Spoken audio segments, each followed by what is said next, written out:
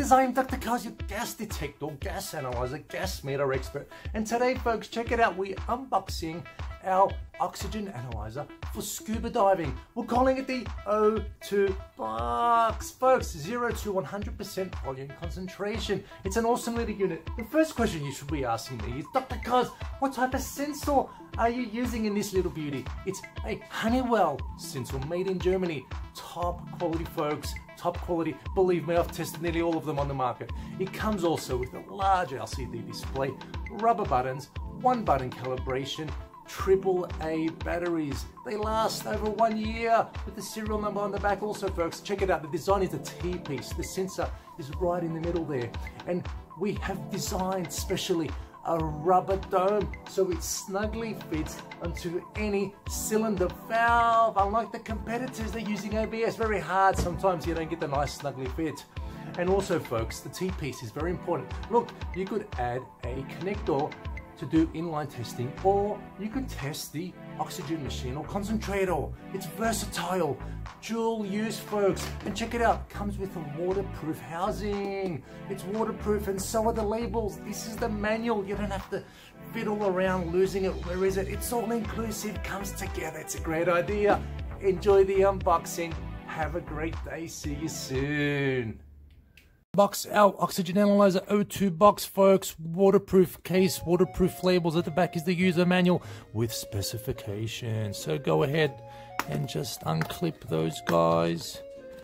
And let's pop that up. And as you can see here look at that folks. The o-ring. You have a sponge protector.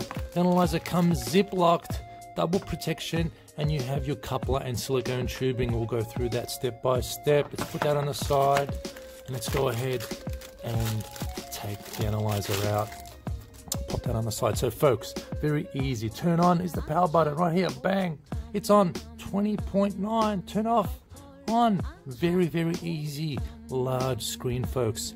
And let's say it's off a little bit and we want to calibrate in there all you do is press menu button air enter. Bang. It's done. Or if you want to calibrate to another value cal and you press enter it's very easy to calibrate, folks. Look, it's also got a dome, a rubber dome. And we did that specifically so it could snugly fit and give a bit of absorption when you're going ahead and popping it onto the valve. As you can see, we've got a nearly, it is a perfect fit. We've designed it to be a perfect fit onto our dive cylinder valves there folks. Very very nice indeed. At the back we have a battery compartment. Three AAA batteries. If you leave it on continuously it will operate for over a month. If it's using here and there it's over a year.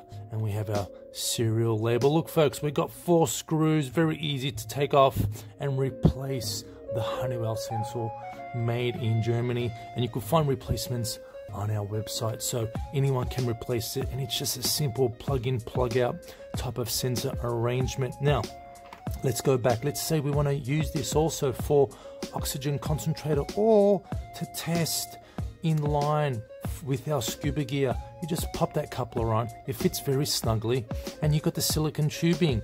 You could further add a small regulator and do real inline um, oxygen sampling with your scuba equipment or pop that onto the barb onto your oxygen concentrator or analyzer. Very easy, folks. Look, I'm going to breathe into this real quick. And you're going to see the numbers change a little bit, go down, of course, because we're breathing. We have a depletion of oxygen, and it's responding very, very fast and coming back pretty quick, too. Um, and again, I just want to repeat calibrating's quick. Look, bang, 20.9, it grabs it. Okay, bang, it's less than one second calibration. That's the beauty of it. That's the beauty of it. So easy and most important, quality Honeywell made in Germany sensor. All right, folks, that's the unboxing. Have a great day.